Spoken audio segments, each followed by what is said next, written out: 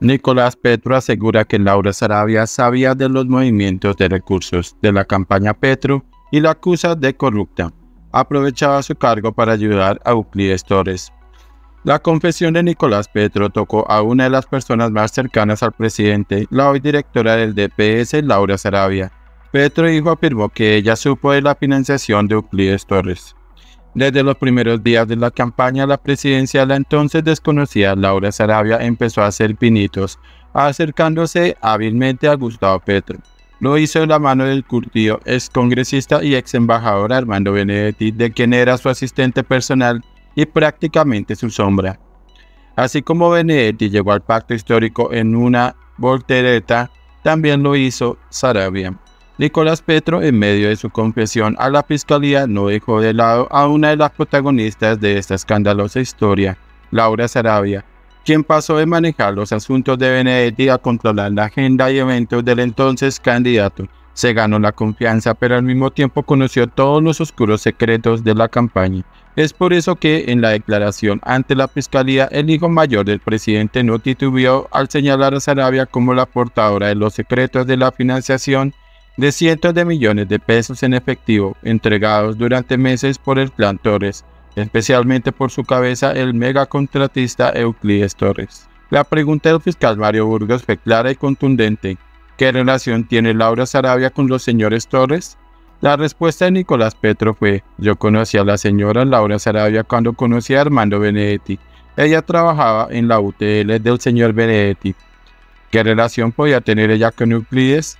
En ese momento pues la desconozco. No sé si ellos eran amigos de hace mucho tiempo, pero lo que yo sí puedo decir es que sabía de todos los movimientos de los recursos, de cómo se financió la campaña en el Caribe, de todos los aportes que dio el señor Euclides Torres. Nicolás Petro contó en detalle cómo llegó el megacontratista a la campaña y cómo se fueron repartiendo las funciones y los roles. Quien trae al señor Euclides fue en ese entonces el senador Benedetti, acompañado en ese momento por su secretaria, que era la señora Laura Sarabia, la cual sabía perfectamente de todos los movimientos financieros que se hicieron en su momento para la organización de esas manifestaciones políticas.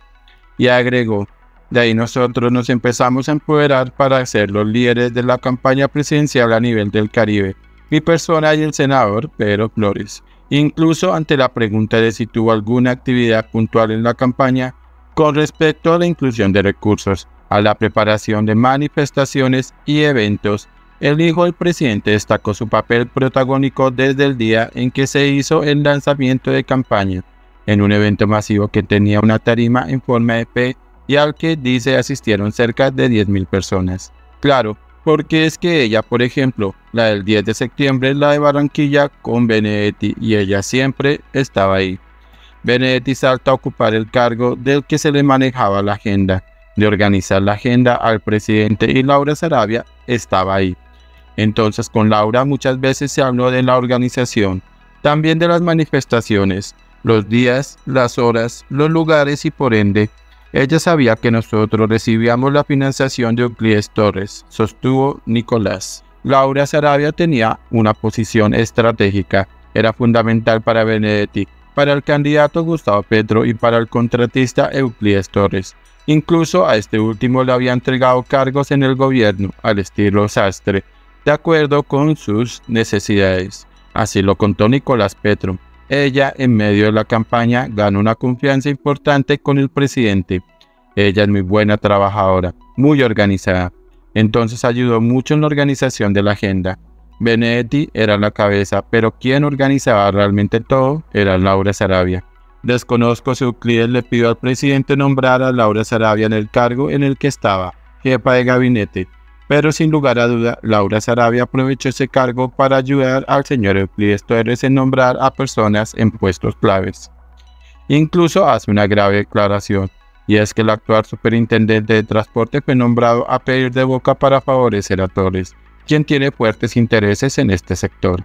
Por eso no resultó extraño para el círculo cercano de la campaña que, luego de ganar las elecciones, el presidente Gustavo Petro la hubiera nombrado en uno de los cargos más importantes y estratégicos de la Casa de Nariño, jefa de gabinete.